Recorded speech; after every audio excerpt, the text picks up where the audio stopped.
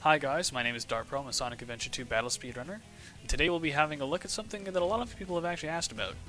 Um, and basically what it is going to be using the pause menu to break the game, or at least make our life a little bit easier. Um, those of you who've you know done runs of this game are probably familiar with hover jumps. You know, you do a quick double tap and you get a bunch more height than you're supposed to. You can do that. But some people have asked about, well, what are those pause hover jumps I see people doing? And a lot of people call it pause buffering. Uh, this is not really um, a correct term. Pause buffering is actually used in places like Ocarina of Time, where you can use the pause menu to literally buffer an action. You force the game to know that you did it and do it immediately upon coming out of the pause menu. We don't actually do that. We don't make use of the game's buffer at all. There, as far as I know, there is no action buffer here. Really, what we do with that is can be better called pause interrupting. And we do that to trick the game into thinking we have faster fingers than we actually have. For example, if I take my index finger and I double tap the A button as quickly as I can, a little bit too quick, like that, that's as fast as I can go. And you can see it's not working all the time because it, it's just exceeding what my finger can do. That's as fast as I can go with my squishy human finger. But sometimes that's not good enough. And so what what we can do is we can trick the game into thinking that our finger is faster than it actually is. And the way we do that is with the pause interrupt. So what I'm going to do is I'm going to take my middle finger and put it on A of my right hand, and I'm going to put my left in, or my right index finger on the start button. This is a 360 controller, so I can now press both buttons independently of each other easy. So what I want to do is I want to press A and then start.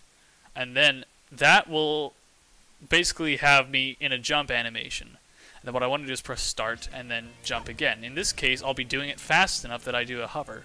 So if I do this quickly enough, it should only take one or two frames before the pause menu comes up. So let's give this a shot. So as you can see, I've captured Tails just after he comes off the ground. And this is the best time to do a hover jump. So now what I'm going to do is I'm going to hit start and A with my two fingers as quickly as I can, one after another, and see if this gives me a good hover jump. Oh, there we go. So you can see the quality of these hover jumps is much better than the ones I could do by hand.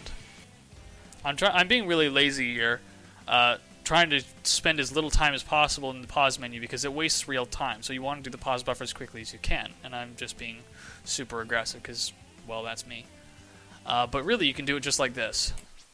Then you can reposition your hand, and there you go. Really good hover jump.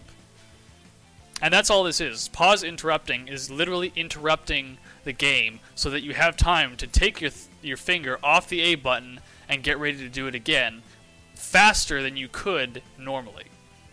You're not actually breaking any rules or changing the way the game works. You're just interrupting the game so that the game thinks that you've only taken one or two frames to take your finger off and put it back on the A button, when in reality you've taken, you know, half a second or whatever, whatever real time it takes.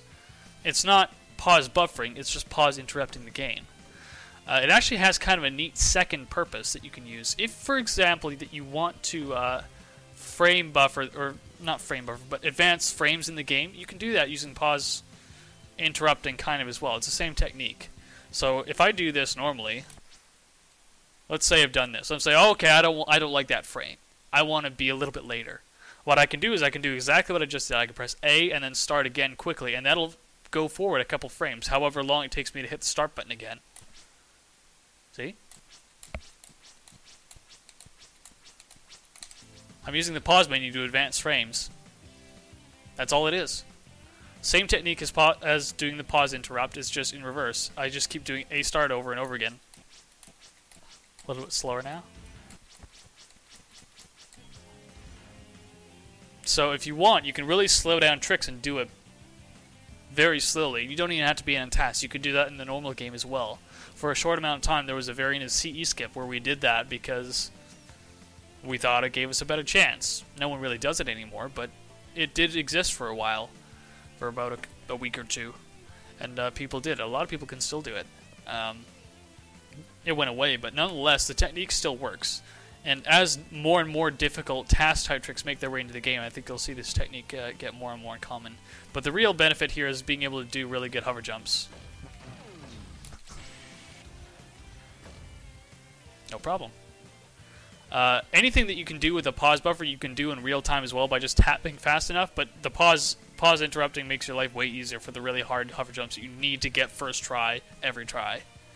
So, give it a shot, play with it, and uh, see what happens. Thanks for watching, guys.